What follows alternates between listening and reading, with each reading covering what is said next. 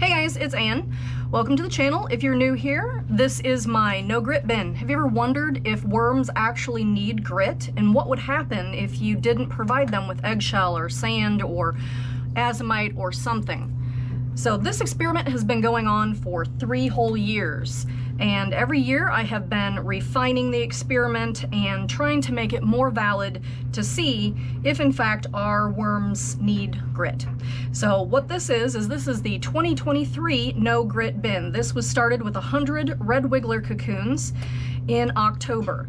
And last time we were in here, we fed them a little bit of onion and a little bit of pepper we had noticed that the worms had grown up to be adult worms within that couple of months and that they were ready for feeding. Now it is about 61 degrees in the basement here, so these guys are probably a little bit slow, but as you can see, um, they are fully adult worms. So if you wondered how long does it take my worm to get to be a grown-up, uh, these guys were hatched um, on or after October 17th. It is now January 7th. So these guys are full grown and, oops, if you look here, you will see the clitellum near my thumb here, and that means that they are capable of breeding.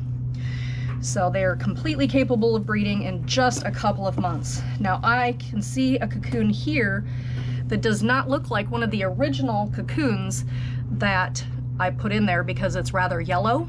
Uh, over time, they start out kind of a lemon yellow, and as they age and get closer to hatching, they become a little bit more brown. So this must actually be the second generation in here, or the first generation born in here. So the, any of the cocoons that I had put in here originally should already be kind of that brown color.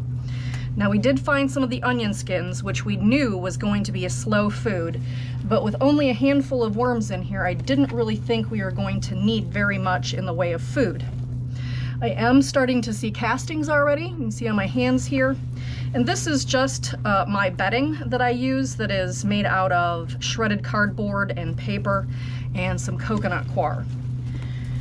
So I am still only seeing a couple handfuls of worms here, um, which is to be expected. Cocoons can take anywhere from two weeks to six months to hatch, depending upon um, whether or not they are in their ideal conditions. And I imagine at 60 degrees Fahrenheit, this is really not ideal, but it is not too cold for red wigglers. Red wigglers um, are good down to almost freezing temperatures. But it is going to take some time to build up the population in here to what it looks like to be a normal one of my worm bins. Last year when I started this experiment, I started with a pound of worms and uh, people said, well, what if those worms had grit in their tummies already? Maybe this isn't that great of an experiment because maybe they reused the grit. So this year, we're making sure nobody's reusing grit and we started out with cocoons. And so these worms that we have in here have never had any grit whatsoever. Now it looks like they've eaten everything with the exception of those onion peels, so I am going to keep feeding down the middle here so that the worms don't have to go very far to find some food. So let me grab them some food. Now that they're getting to be bigger worms, I think they can go on to eating a little bit more, so I'm gonna give them a chunk of pumpkin.